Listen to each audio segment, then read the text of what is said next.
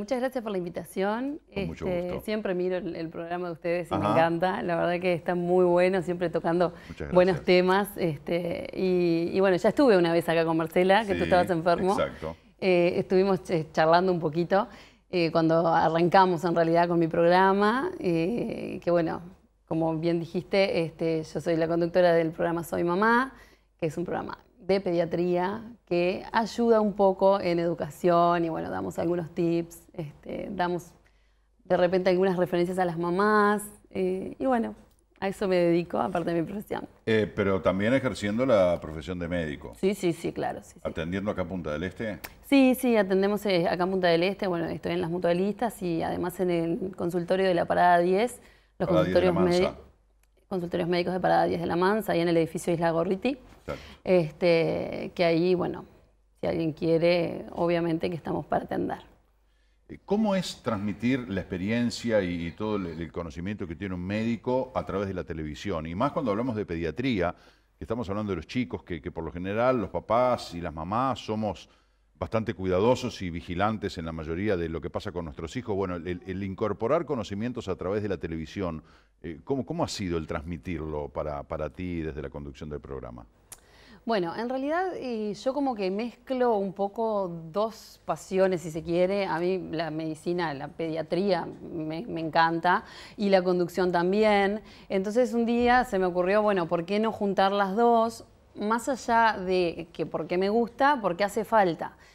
Esto que, vo- que vos preguntás eh, es una buena pregunta. En realidad el tema de cómo transmitir es difícil, pero está bueno que alguien con conocimiento lo, lo transmita y que otra persona pueda eh, estar tranquilo de que de repente, obviamente somos seres humanos y nos podemos equivocar, pero de- desde nuestro conocimiento estamos dándole algún poco de tranquilidad o, o bueno, o ayudándolos en la crianza del día a día con cosas que de repente se nos pueden pasar en consultorio. ¿Por qué? Por un tema tiempo, por un tema de que los niños llevan, eh, o sea, hay mucha cosa para hablar cuando un niño viene a control. Muchas veces eh, no solamente el tiempo, sino que también somos seres humanos y se nos pasan cosas o de repente la conversación se va para otro lado porque la mamá tiene diferentes dudas y quedan relegadas algunas dudas que de repente cuando se van del consultorio dicen, ay, me olvidé de preguntarle tal cosa, siempre pasa. Que para eso tengo el tip especial que siempre les digo a las mamás, anoten Una listita, todo, la todo. clásica listita. Claro, la clásica listita que en el celular hoy por hoy, que tenemos las notas, llegamos y le decimos al pediatra, bueno, mira, me pasó esto, esto, esto, y además cada vez que va pasando el tiempo se, eh, queda- es más espaciado el, eh, el control, el control en salud, ¿no? Obviamente que tenemos este, consultas, algunos niños, porque algunos son completamente sanos y no van a consulta, pero si son controles, cada vez son más espaciados, justamente porque los niños en general son sanos. Entonces, bueno, nos olvidamos de la mitad de las cosas y llegamos a casa y decimos, uy, justo Y ahora esto". después para volver a ver a la doctora. Tengo como seis meses a veces, a veces claro. hasta un año incluso, Sí, sí. ¿no? En los niños mayores. Entonces, bueno, está bueno la listita y siempre, bueno, llegar y decir, me preocupa tal y tal cosa, o de repente si la conversación se fue por las, la- las ramas, ahí nos fijamos antes de irnos para no quedarnos con eso en el tintero. Claro, es una, buena recomendación. Ahora, hablando de lo que son las patologías, ¿no? Porque este, somos muy cuidadosos, vuelvo, al concepto de mamá y papá responsables que aman a sus hijos y que están preocupados, obviamente, respetando rigurosamente los controles pediátricos, eh, todo lo que manda eh, el médico este, o la médico, eh, bueno, una cantidad de cosas. Pero bueno, estamos siempre con eso de enfermedades nuevas, enfermedades que mutan, qué darles, qué no darles. Estamos siempre con San Google, que muchas veces obviamos la consulta con un doctor y le creemos más a lo que encontramos en Internet, lo hablamos con J todos los lunes, le creemos más a lo que encontramos en Internet que a lo que me dijo de repente mi médico pediatra en la consulta o el médico pediatra de mi hijo en la consulta, encontré una información en Internet y ya pongo en duda lo que me dijo el médico. Ir lidiando con todo eso, ¿cómo es para un profesional como tú?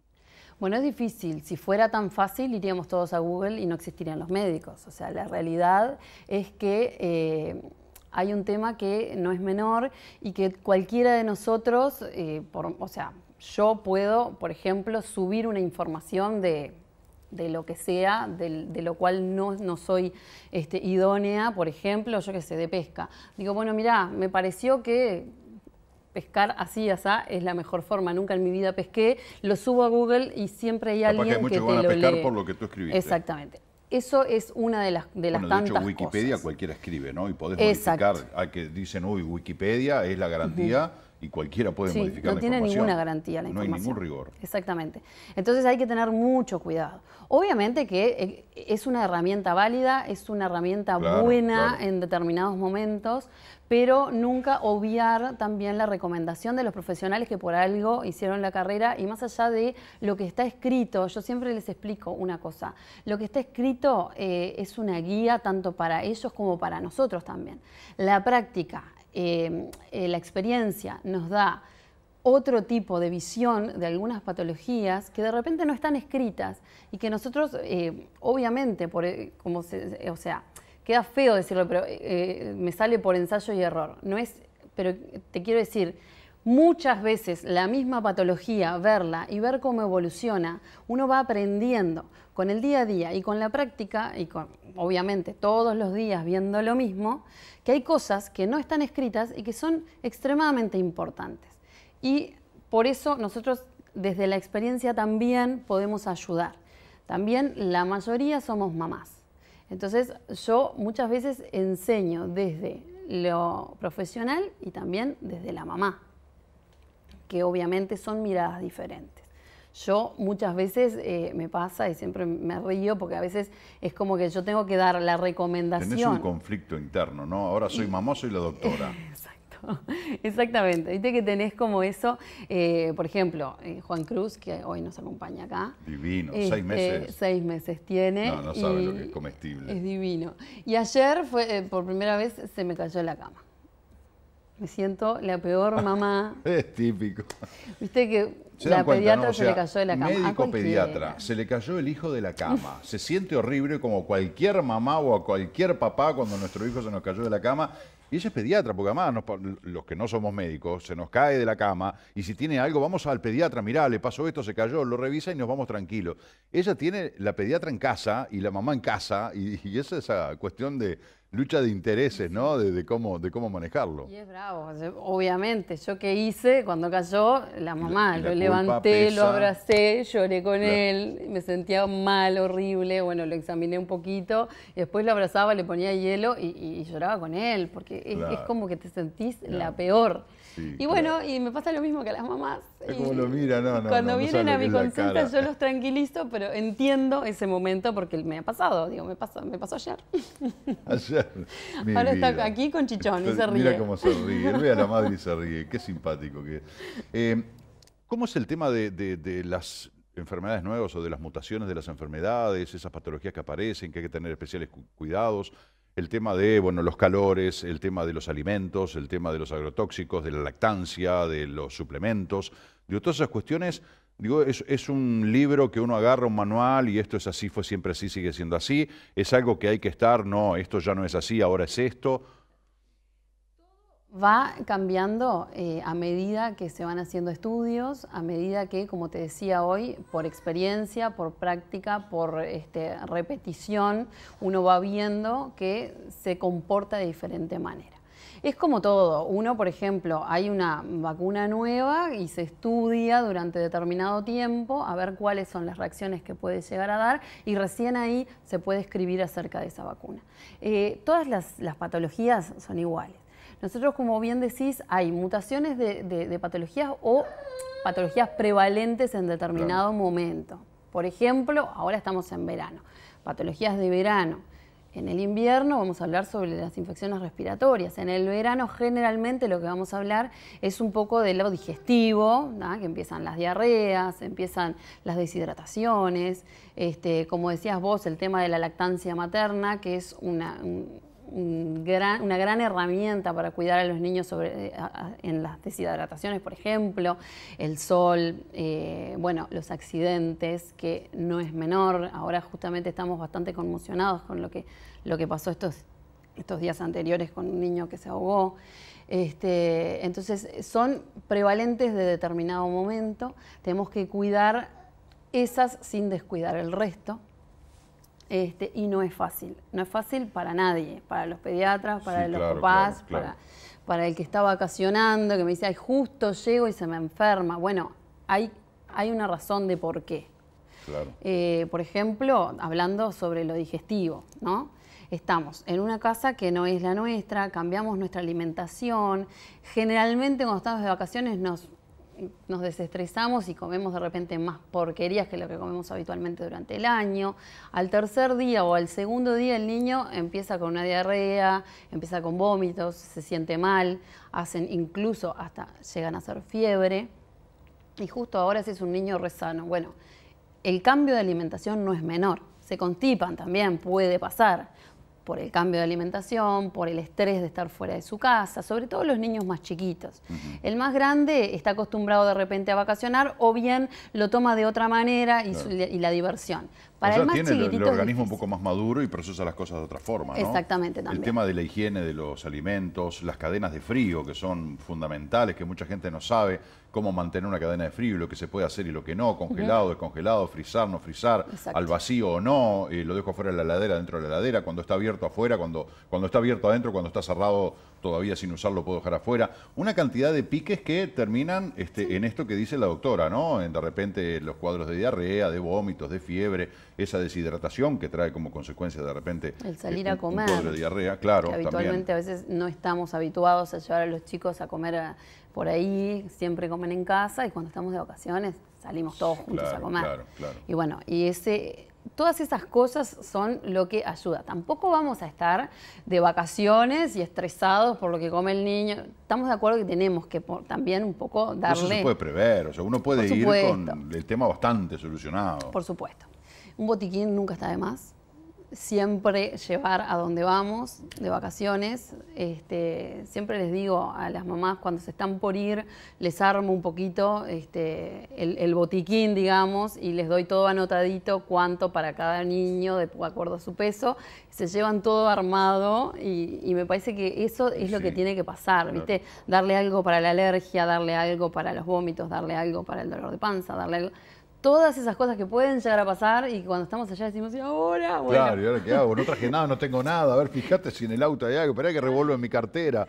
Una clásica. Yo lo que les hago es en la cajita del medicamento le pongo el nombre del niño, por supuesto le calculo y le doy en la cajita. Entonces se llevan la cajita y ya ahí se miran y bueno, eh, para este son 10 gotas, para este son... Eh, con el programa de televisión, eh, ¿sentís que podés aportar algo más o desde un lugar diferente a lo que es la consulta? Este, eh, pensás que, como decías vos, capaz que en el programa podés decir, bueno, hoy voy a hablar de, y elegís determinada patología eh, de los niños y lo podés desarrollar, apoyada en un profesional especialista de repente, o en un laboratorista, en fin, como que podés en la televisión eh, dar otro producto desde la propia pediatría.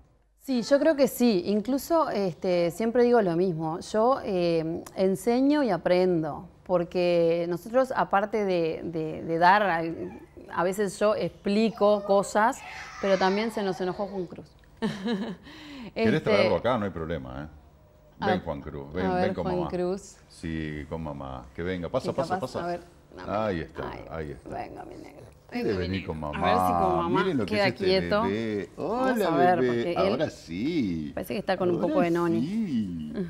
Qué divino. Acá está Juan Cruz. Miren, bueno, acá presentado en Sociedad. ¿Ya lo habías mostrado en televisión? Sí, sí, él ha ah. salido en el programa varias veces. Ah, bien. El primer programa que lo quisimos sacar, el gordito empezó a llorar. Entonces, bueno, siendo que es un niño que no llora casi nunca, pero bueno, tengo mis días, tengo seis meses. Claro, soy chiquito todavía. Se ríe. Divino. Este, bueno, te decía, yo aprendo mucho también este, en el sentido de que siempre llevamos a algún profesional que este, acompañe, eh, que generalmente es idóneo en determinados temas. Eh, la pediatría es muy amplia, eh, nosotros tenemos, si bien tenemos, o sea, sabemos de todo un poco, hay para algo son las especialidades, ¿no? Este, entonces nosotros de repente siempre llevamos a alguien idóneo en determinada patología. Yo qué sé, por decirte, un cirujano pediatra, este, o la persona que hace determinado procedimiento, todas esas cosas, porque está bueno también que la gente vea que no solamente lo dice el pediatra, sino que también la persona que está encargada de esa patología. Viste que a veces pasa que un niño con una crisis asmática y hay mamás que te dicen, ay, porque a mí me gustaría que lo vea un neumólogo. El asma lo trata el pediatra no hay necesidad. Si necesitamos un neumólogo, nosotros lo vamos a, pasar al neumólogo como corresponde. Pero a veces le da tranquilidad a la mamá. Entonces está bueno invitar a, a, esos profesionales y que también digan ellos este, cuándo hay necesidad de que ellos intervengan en la consulta y cuándo lo tratamos nosotros los pediatras. Eso es una, forma elegante de manejar la ansiedad de los padres, Exactamente. Que, muchas veces nos creemos que sabemos más que el médico, primer error habitual. Y segundo, que creemos que este, lo que nosotros suponemos eh, es mejor que lo que dice el médico, por ejemplo, no, yo quiero que lo vea un neumólogo. Eh, bueno, pero lo tiene, salud mi vida, lo tiene que ver eh, un pediatra y el pediatra eventualmente lo derivará a un neumólogo. Bueno, no, pero yo me quedo tranquilo y los padres creemos que este, podemos manejar mejor información. Leticia, se nos ha terminado el tiempo. Yo te quiero agradecer, te quiero felicitar, porque además de Juan Cruz tenés dos hijas mujeres. Dos nenas, Martina, y 9. Martina de 13, 13 y Paolina de 9 años. Y ahora llegó Juan Cruz. Y ahora llegó Juan Cruz con seis meses. Debe ser este, el, centro de atención de la familia. Sí, por supuesto, ni que hablar. Súper compradora. Sí, sí, nieto, sobrino, está totalmente mimado este niño. El programa em, Soy Mamá, este, ah, ahí está, muy bien. Qué bien, eso se llama producción. ¿Viste? Ahí está, ahí tenemos en redes, Soy Mamá Uy, ok, esto es en Facebook, en Instagram, Soy Mamá Uy. Eh, a ver que no veo, ahí está. En YouTube soy mamá y en Twitter arroba soy mamá uy. Bueno, este, son las redes sociales, están todas las redes del programa Soy Mamá. Eh, este, nueva de ley de salud, no, eso no. Ah, era hasta la línea. Perfecto. Perfecto. Eh, ah, porque claro, la productora. Nos quedó, nos quedaron, nos, faltó tiempo, ¿no? Porque estaba bueno para, hablar de esos aspectos, pero no va a faltar oportunidad. Sí, incluso eh, una de las cosas de las cuales quería este, ahondar y que de repente podemos este, volver a hablarlo es sobre el tema de las patologías accidentales, que bueno el tema de los ahogamientos, como te hablaba hoy. Sí, yo a raíz de que dijiste eso te iba a preguntar, he escuchado varias veces que dicen, bueno, esto es la primera causa de muerte entre los 0 y los 2 años, y hemos visto el ahogamiento. Eh, es realmente espeluznante, ¿no? Eh, sí. Pero bueno, tenemos la excusa perfecta para invitarte de nuevo, Leticia. Bueno, cuando Un quieras. placer. Muchísimas muchas gracias, por la invitación. Chao, Juan Cruz. Ay, me parece que estamos ocupados ahora. Bueno, ahí está. Chao, bebé. Chao, bebé. Qué divino. Señoras y señores, eh, hacemos la pausa, ya volvemos.